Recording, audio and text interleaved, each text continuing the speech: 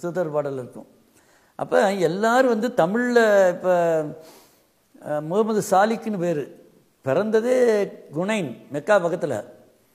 ஆனால் அவர் நல்ல தொழுகையெல்லாம் பண்ணி ரொம்ப ஸ்பிரிச்சுவல் மேன் அப்போ அங்கே வந்து அவர் அவருக்கு வந்து பிரசன்னமான அந்த தேவ தேவதை என்ன சொல்லியிருக்கு நீ இங்கெல்லாம் வந்து அந்த உயர்நிலை அடைய முடியாது. அல்லாவை பார்க்கணும்னு நீ விரும்பினேன்னா அதுக்கு நீ வந்து தமிழ்நாட்டுக்கு போகணும். தமிழ்நாட்டில் போய் தமிழ் படித்து சைவ நெறியில் வாழ்ந்து தமிழ் பொண்ணை கல்யாணம் பண்ணி வாழ்ந்து தமிழ் கடவுளை நீ நினச்சா தான் வரும்னு சொல்லணுனால முகமது சாலிக்கு வந்து காஞ்சிபுரத்துக்கு வந்தார். காஞ்சிபுரத்தில் வந்து தமிழ் படித்து சைவ சித்தாந்தம் படித்து சிவநெறிக்கு வந்து தமிழ் பொண்ணை கல்யாணம் பண்ணி தியானம் பண்ணார். அங்கே வெறும் தொழுகை எல்லாம் பண்ணி பார்த்தாரு. ஒரு எல்லைக்கு மேலே அங்கே இருக்க சி ஞானியர் வந்து த- சொல்லிட்டாங்க. இங்கே வந்து இதுக்கு மேலே உங்களுக்கு கிடைக்காது. இதுக்கு மேலே வேணும்னா தமிழ்நாட்டுக்கு தான் போகணும்னு. வந்துட்டார். வந்து சொன்ன அது அப்புறம் அது பிரசன்னமாகி திருத்தணியில் போய் பன்னெண்டு வருஷம் தவம் பண்ணுட்டாங்க திருத்தணி முருகன் கோயில்கிட்ட தான் அடியில் தான் ஒரு குகையில் தவம் பண்ணார். திருத்தணி முருகன் வந்து அவருக்கு அந்த என்லைட்மெண்ட்டை கொடுத்தாரு. அதிலிருந்து அவர் தன்னுடைய பேரை வந்து முகமது சாலிக் என்ற பேரை திருத்தணிகமணி பிரான்னு மாற்றிக்கிட்டார் திருத்தணிகமணி அப்படின்னு பாடினார். அவர் தான் வள்ளலாரை பார்த்தார். ஒழுங்குதா வள்ளலாருக்கு வந்து அந்த பல ரகசியங்களை சொன்னார். வள்ளலாருக்கு பிறகு காதர் பாட்ஷான்னு ஈரோட்டில் ஒரு வணிகர் இருந்தார் ஸ்பிரிச்சுவல் மேன் அவரை சந்திச்சார். அவருக்கு தீட்சை கொடுத்தார். அவர் தான் சொல்லியிருக்கார் இந்த பார் வள்ளலாருக்கு பிறகு ஒன்று தான் சந்திக்கிறேன் இருபத்தஞ்சி வருஷம் ஆச்சு. சந்திக்கிறேன் என் வயசு இப்போ முந்நூற்றி எண்பத்தஞ்சு வருஷம். அப்படின்னு சொன்ன உடனே தான் அவர் அரண்டிருக்கார் அப்புறம் அவர் தான் பின்னாடி மெய்வெளி சாலை ஆண்டவராக மாறினார். எல்லாருக்கும் ஸ்பாட்லேயே தீச்சார். அவரும் பன்னெண்டு வருஷம் திருப்பரங்குன்றத்தில் தவம் பண்ணார். தன் பேரை மெய்வெளி சாலை ஆண்டவர்கள்னு அவங்க சொன்னாங்க. அது மட்டும் இல்லை அவருடைய கிரந்தத்தை கேட்டாலே கொடுக்க மாட்டாங்க. நீங்கள் சத்தியம் பண்ணணும். குளிக்காமல் தொடமாட்டேன் தலைக்கு மேலே வச்சு தான் கொண்டு போவேன்.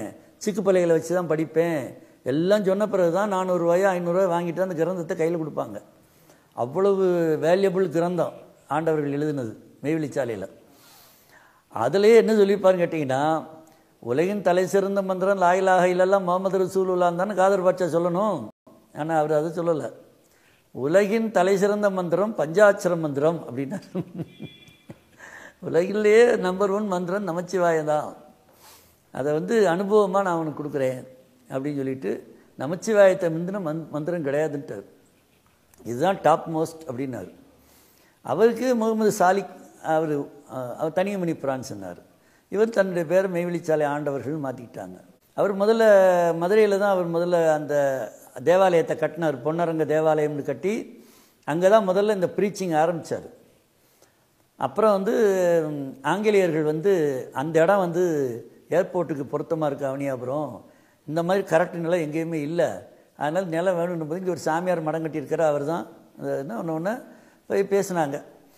பேசினா மெய்விலி சில ஆண்டவர்கள் சொன்னாங்க தாரேன் ஒன்றும் பிரச்சனை இல்லை. நீங்கள் கவர்மெண்ட் கேட்கும்போது நான் கொடுத்தாகணும். அது அப்புறம் எப்படி காசாக கொடுத்துருவான்னு கேட்டாங்க. உன் காசு நாளைக்கு செல்லாதுன்னு சொல்லிட்டான்னா உட்காந்துட்டு பெறாது. வேண்டான்ட்டாங்க. பாண்டா கொடுத்துருவான்னாங்க. நீ ஆங்கிலேயன் பாண்டா கொடுக்குற நாளைக்கு சுதந்திரம் அடைஞ்சு எங்கள் ஆளு வந்துட்டு இந்த பாண்டு செல்லான்னு சொல்லிட்டான்னா நாங்கள் அதை வச்சுட்டு ஒன்றுமே பண்ண முடியாது அப்படின்னாங்க. அப்போ எப்படி தான் கொடுக்கணும் உங்களுக்கு காசுன்னு கேட்டாங்க. இப்போ இந்த காலத்துலனா பலாயிரம் கோடி சொத்து அது. அவ்வளோ பெரிய நிலம். மொத்த ஏர்போர்ட்டும் அவருடையது. மேலிச்சல் ஆண்டவள் ஏர்போர்ட். அவர் சொன்னார் என்றும் மரியாதை மதிப்பு குறையாதது தங்கம். தங்க பிஸ்கட்டாக கொடுன்னாரு. அப்புறம் தான் லாரியில் ப தங்க பிஸ்கட்டை கொண்டு வந்து கொடுத்தாங்க ஆங்கிலேயர்கள்.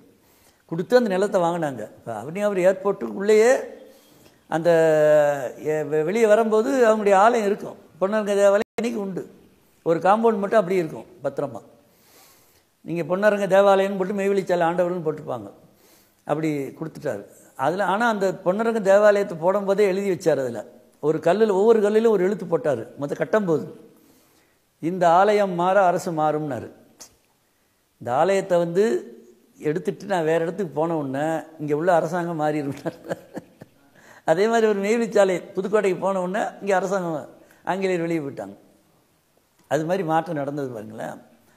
அப்படி புதைச்சி வச்ச தங்கம் தான் வேணான்னு தெரிஞ்சு போ புதைச்சி தங்கத்தை தான் எமர்ஜென்சியில் தோண்டி எடுத்தாங்க. எடுத்துட்டு இவர் ஊரெல்லாம் தங்கத்தை வாங்கி பதிச்சு வச்சுட்டான்னு அவர் கெட்ட பேர் ஆக்குனாங்க. அவர் அப்புறம் அது நிறையா அதுக்கு அதை பற்றி கதை இருக்குது அப்புறம் அது அது தனி. அதனால் என்னன்னு கேட்டிங்கன்னா இந்த இந்த ரகசியம் என்பது ஜாதி மத இன மொழி பேதங்களுக்கு அப்பாற்பட்ட ரகசியம்.